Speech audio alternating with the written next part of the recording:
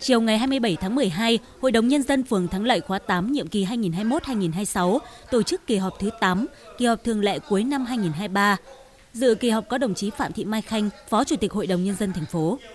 Năm 2023, mặc dù còn nhiều khó khăn, song dưới sự lãnh đạo của Đảng ủy, giám sát của Hội đồng Nhân dân, sự điều hành linh hoạt các nhiệm vụ phát triển kinh tế xã hội ở địa phương của Ủy ban Nhân dân phường Thắng Lợi đã đạt được những kết quả đáng ghi nhận.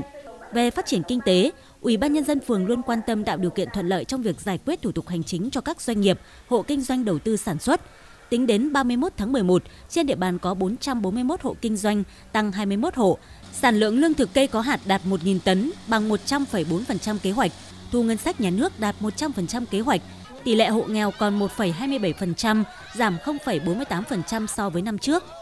Các hoạt động văn hóa, y tế, giáo dục được chỉ đạo triển khai tích cực hiệu quả, an ninh quốc phòng được đảm bảo, trật tự an toàn xã hội được giữ vững.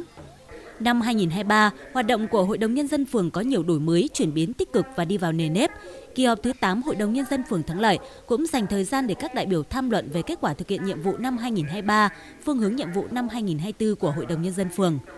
Với tinh thần đoàn kết dân chủ, kỳ họp thường lệ cuối năm 2023 của Hội đồng Nhân dân phường Thắng Lợi khóa 8 đã thành công tốt đẹp và thông qua 6 nghị quyết quan trọng nhằm thúc đẩy phát triển kinh tế xã hội của địa phương cũng như nâng cao hiệu quả hoạt động của Hội đồng Nhân dân phường năm 2024. Cũng tại hội nghị, Ủy ban nhân dân phường Thắng Lợi đã tổ chức khen thưởng cho các tập thể cá nhân đã hoàn thành xuất sắc nhiệm vụ trong năm 2023.